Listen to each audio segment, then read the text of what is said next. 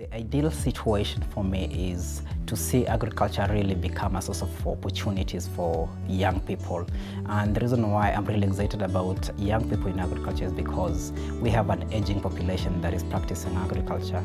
Actually, the average age of a farmer in Africa is around 60, uh, 60 years old. And uh, to give an example, in Kenya, the life expectancy is at 63. So you realize that only the old are trying to pro produce food. And for us to really make uh, agriculture sustainable, it's high time for young people to come into agriculture. But to do that, young people are always, uh, uh they always follow technologies and they're really excited about taking new technologies um, in whatever they do.